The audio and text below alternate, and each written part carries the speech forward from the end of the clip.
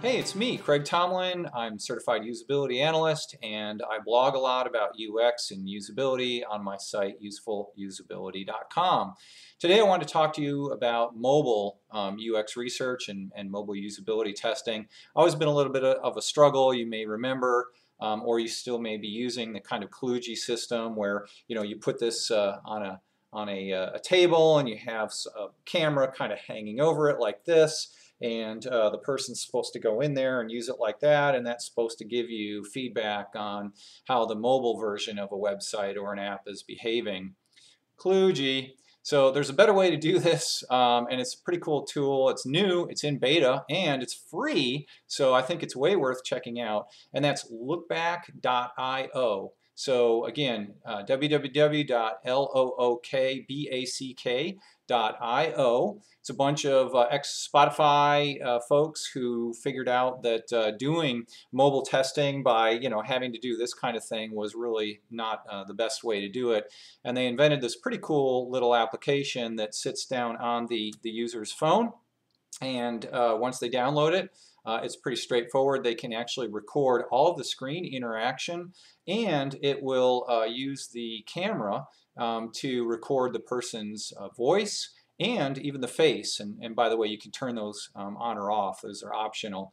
But it's a great way to get uh, user experience uh, feedback on an app, a, a website, whatever um, you may have. There's um, so it's very cool. Definitely worth checking out a few little asterisks about this. One is um, it is only for iOS 8 and greater, and you have to have a, a, jailbroke phone, which obviously is going to be a problem for some users that may not have gone down that jailbreak path.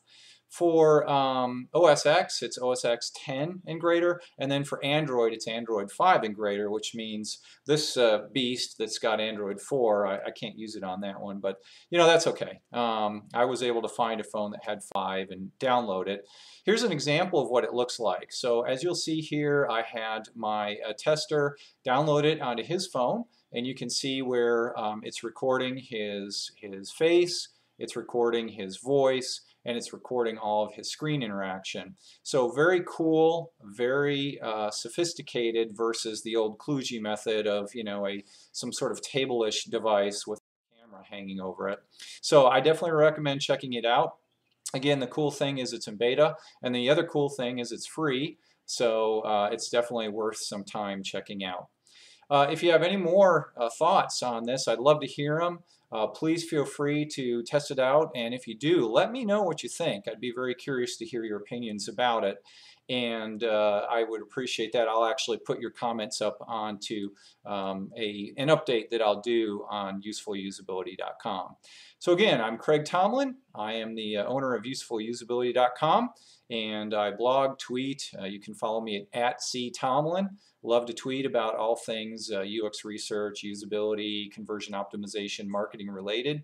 And uh, feel free to follow me on my Facebook page. So it's facebook.com uh, slash useful usability. Love to have you there. I do daily updates on all things kind of UX, uh, conversion optimization, marketing, and usability related. Thanks very much. Go check out lookback.io. Let me know what you think.